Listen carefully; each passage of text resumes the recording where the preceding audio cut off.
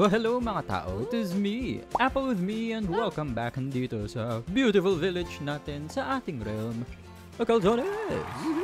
Yes, welcome back dito nga sa ating village at nandito tayo ngayon dahil meron tayo mga villagers dito na nagsiswimming sa swimming pool area na to. Wow, saya naman nila dyan. And uh, gagamitin kasi natin yung mga villagers na yan para gawin silang mga mason villagers tulad ng guy na to over here. At gusto kasi natin ng uh, quartz block trade at itong Riptide 2 ano, trade na to sobrang pinaghirapan ko to. Hindi pa nga siya Riptide 3 eh, pero ang tagal ko nang rin-reset yung trades ng taong to at hindi pa rin binibigyan ng Riptide 3 na ako. naman talaga to. But yeah yun nga yung mga villagers natin na naka-ready na dito sa little swimming pool natin dyan. Yeah gusto natin sila gawing mga mason villagers. Gusto kasi natin na mga quartz blocks for stuff So, medyo hindi simple makakuha ng quartz block trade dito sa Minecraft Bedrock. At para mapakita ko sa inyo kung bakit ganun, ay pupunta tayo dito sa village, Villager Trading Hall Iron Farm thing na ginawa ng ating mga kasama dito sa Realm. So, itong Mason na to, uh, nope, wala pa siyang Master Level Trade. Ayun, itong Mason na to, nag nagtitrade siya ng ano, Pillar Quartz Block para sa Master Level Trade niya. At 50-50 chance na makakuha tayo ng, ito, yung quartz block at ito yung pillar quartz block. So hindi sigurado na makakakuha tayo ng ano, ganito. The quartz block. At yun, ito talaga yung gusto natin dahil itong quartz block, pwede pa siya i-craft into quartz stairs or quartz slabs or kahit gano'n yung quartz pillar. Itong nasa villager na to, eh, ganyan, pillar quartz block, eh, wala na tayong magagawa dyan. Kundi gamitin siya as pillar, hindi na natin makacraft yan into something else. Kaya gusto talaga natin yung quartz block trade lang sana mula sa ating mga masons. And usually, pag meron tayong villager na ayaw natin yung tinitrade niya, well, yung solution doon ay tinatapon lang natin siya sa lava. Pero mabait tayo sa villagers dito sa world na to, kaya gagawa natin ng ibang paraan para ma-ensure natin na makuha natin yung gusto nating trades mula sa ating mga villagers. Meron akong simple trick dito na gagawin gawin. At gagana lang siya sa single player mode or kung kaya nyo gumawa ng copies ng mga worlds nyo. So ito, meron tayong Mason Villager dito. Uh, hindi pa naka-lock in yung trades niya. So pwede pa natin i-reset yung mga trades ng villager na to. And para mapakita sa inyo yung simple trick na sinasabi ko, pupunta tayo sa main menu para gumawa ng copy ng ating world. Kaya ito, gumagawa ako ng copy ng world natin ngayon. At makikita natin yung exact same villager na to. Yes, dito sa copy naman ng ating world. Tapos yung gagawin natin, magte-trade lang tayo sa kanya paulit ulit hanggang sa makita natin yung master level trade niya. So basically, sisilipin natin kung ano yung tinitrade ng villager na to. And oh yun, nagbibigay siya ng block of quartz. Gusto natin yung villager na to. So sa actual Calzones world natin, ilalock in natin yung trades ng villager na yan. Kaya pag bumalik tayo sa ating actual Calzones world, makikita natin yung ating villager ulit na nandun sa minecart. Pero hindi pa tayo nagtitrade sa kanya, ba? Pero nakita na natin kung ano yung final master level trade niya. So ito tayo sa Calzones world natin, no? At uh, kung mag-trade tayo sa kanya all the way, pareho lang yung makikita natin, yung quartz block na gusto natin. So itatago natin yung villager na to, ilo-lock in natin yung trades niya. At uulitin lang natin ito para sa mga natitira nating villagers dito. So gagawa ulit tayo ng bagong copy ng ating world. So ito na, nakagawa na ako ng isa pang copy ng world natin. Dito, ayan, copy ng world natin. And magte-trade lang tayo para silipin yung master level trade niya. At pillar quartz block na ako, basura yan. So ayaw natin yung villager na to at yung trades niya. So yung gagawin natin ay babalik tayo sa ating actual Calzones world. Ito at tatanggalin natin itong mga workstations na to para ma-reset yung trade ng villager na to para mawala yung kanyang profession. Pero bakit bakit hindi siya nagiging brown villager ulit? Uh, wait, Tanggal. Ayun, okay, okay. Brown na siya ulit. So, kung ilagay natin yung workstation na to, magiging Mason Villager ulit siya. At magre-reset na dapat yung trades niya. Pati na rin yung master level trade niya. So, uh, yung gagawin natin, ay uulitin lang natin yung proseso na yun. Uh, gagawa tayo ng copy ng ating world. Tapos, sisilipin natin kung yung master level trade na to ay yung gusto natin. Tapos, kung gusto na natin yun, ilo-lock in na lang natin yung trades niya sa actual world natin dito. And yes, medyo hassle siyang proseso. Pero ayaw kasi natin pumatay ng mga villagers at gets na rin kung bakit kailangan na sa single player mode or kaya nyo gumawa ng copies ng worlds nyo ng paulit-ulit. Oh wow, look at that. Nasa creeper farm tayo bigla over there sa baba. Yung nether portal. Nag-set up ako ng bagong portal dito din. At nandito tayo ngayon dahil susubukan kong kumpletuhin yung isa nating objectives para sa realm na to eh, which is i-collect lahat ng mga music discs sa game. Yes, at uh, dito sa Creeper Farm may naisip akong plano eh. And ito, kita nyo, dami natin mga creepers dito. Yan, ganda talaga ng farm na to. But yeah, yung plano ko kasi ay i-repurpose yung farm na to imbes na gamitin natin siya for gunpowder. Medyo, oh, look, look at dami natin gunpowder.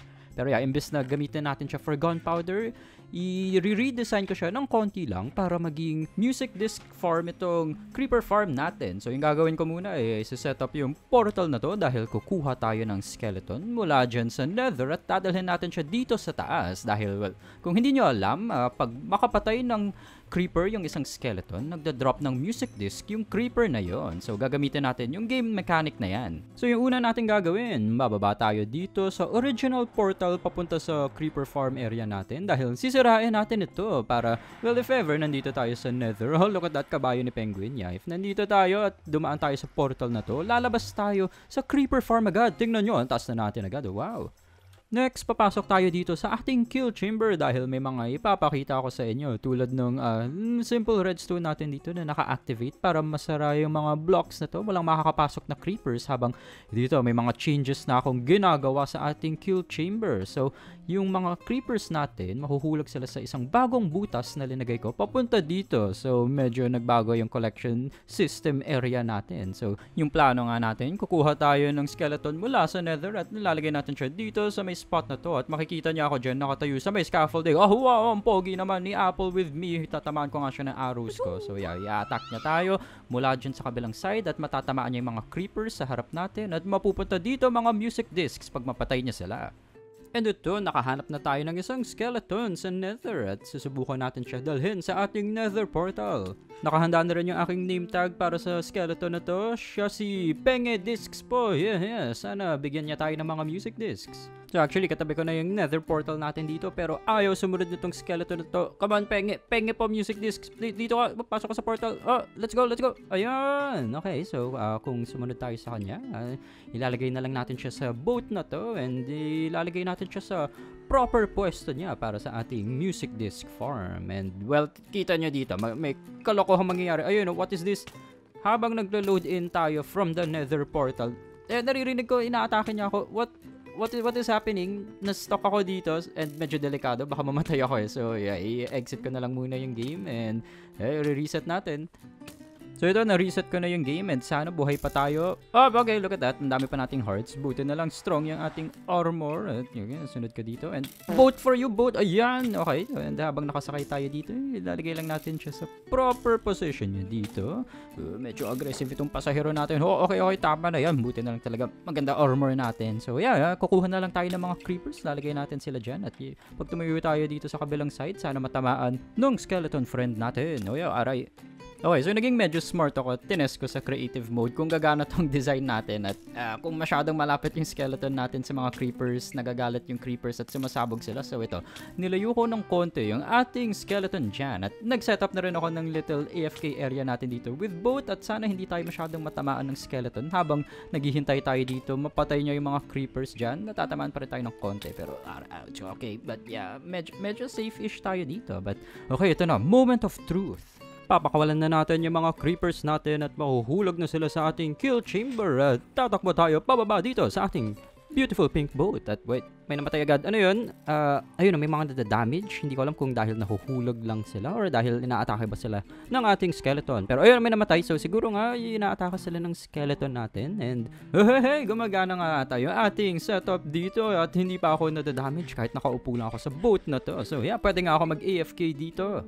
Ito kung i-check natin yung chest over here. Ayan, meron na tayong mga music discs na nakukuha, pati konting gunpowder rin. So yeah, mag-AFK nga lang muna ako dito hanggang sa makuha ko lahat ng mga music discs na kulang pa sa ating collection. And ito na, uh, nasa atin na ata lahat ng mga music discs na pwede makuha mula dito sa mga creepers. So, uh, ilang, ano ba to? 9 plus 3, so 12 music discs to and 16 music discs ata in total yung meron sa game. Tapos, apat sa music discs na yun hahanap sa mga special locations tulad ng Bastion at mga dungeon chests. And oh, dami natin mga ano dito, mga creepers. So, yeah, uh, 12 music discs na nakuha natin mula dito sa mga creepers na to, napapatayin na lang natin the normal way. Oh, oh, oh sketchy. Oh, baka sumabog sila sa akin, baka makita nila ako. And ito yung ano natin. Uh, penge po music discs. Yes, ang dami niyang binigay na music disc. Oh, Uh, uh, okay, okay. But yeah, uh, gumana yung ating farm dito. Ang dami natin music discs dito. May konting gunpowder pa tayo nakuha. At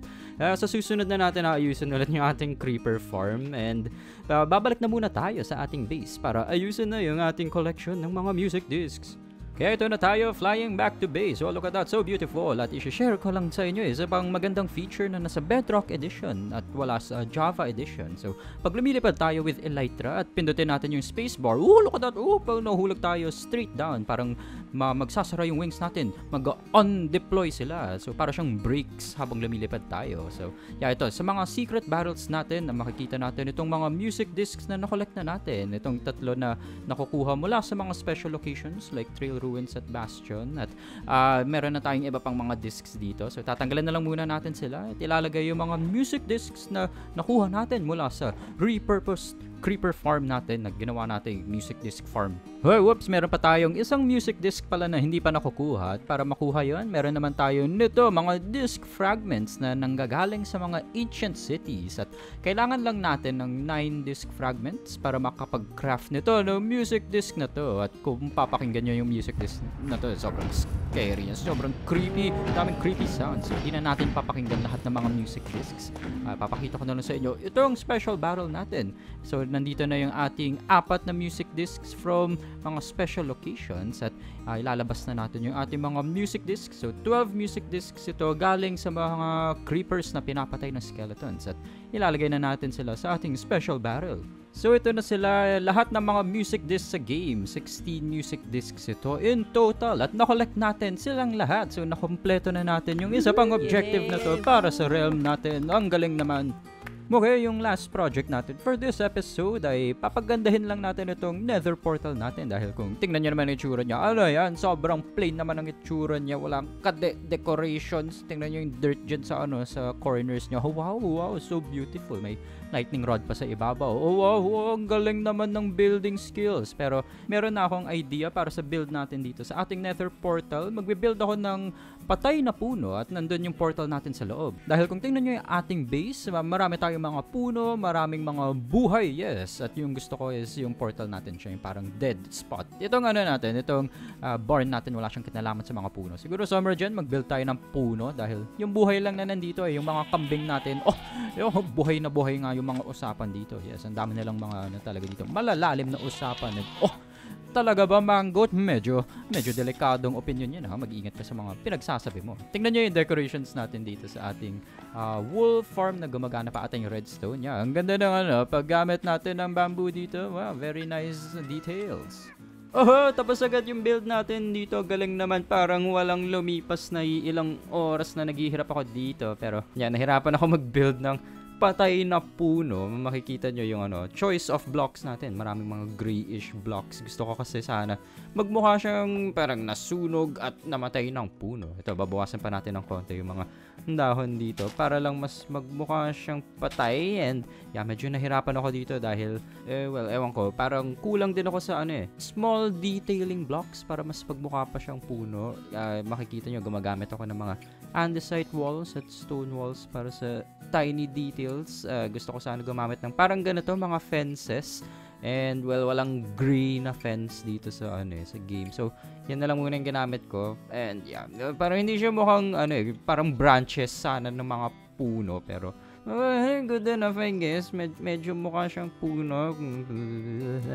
And ito na tayo sa last part ng ating video at naglo-load in tayo sa realm natin ngayon. Nakikita nyo, ayun, naglo-load in yung mundo around us. At uh, nandito tayo ngayon dahil well, ito, medyo behind the scenes na. Uh, nag-expire na kasi yung unang realm natin, uh, yung 10-player version ng realm na tong si Calzones. At ngayon, nasa 2-player version na lang tayo dahil uh, yung ano, ibang members ng ating realm uh, hindi na sila active. So, Uh, medyo dinowngrade naman ni Apple with you to 2 players na lang yung RAM dahil mas mura siya. And sayang naman kung nagbabayad kami for 10 people even though kami na lang yun nandito. So ito, nag-enchant ako ng uh, bagong trident with Riptide Enchantment. Pangalan niya, A Bit of Bangus for You. So, oh, what the heck? Ano Our fish! Yung fish, oh, ba't this? Ano ba yun? Nakapatay tayo ng fish na... Ano? Uh, mag-isa na nga lang siyang fish dito. Napatay pa natin. Oh my gosh. Ano ba yan? Oh man. Oh, nakapatay tayo ng fish. Well, ayan, oh, Riptide Enchantment. Gusto ko sana ipakita sa inyo kung paano siya gumagana. A bit of bangus for you, sir. So baka naalala niyo yung apat na tropical fish na binili natin mula sa Wandering Trader noong episode 22. Oh, well, ito yung tatlo sa kanila at ito yung pang-apat na kakatusok lang natin with our tenedor. At least okay pa yung pinaka-importante nating alaga dito sa ating mundo. The Chosen One, oh Chosen One, look at you, so beautiful, Chosen One. Also blue na siya ngayon, yes. And itong mga alis natin na linagay natin dito sa gitna ng mga sniffers natin. Wow, dami na nilang nakokolekta na sniffer drops. And ayun, yung random update natin sa ating mga alaga dito sa Realm. And para matapos yung ating episode, babalik tayo dito sa unang cherry blossom biome na napuntahan namin ni Apple with you.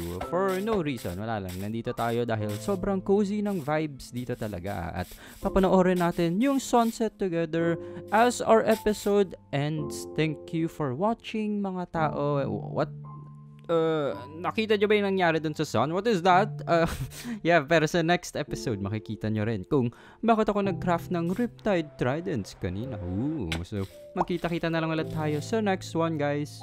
Have a great day. Okay, bye.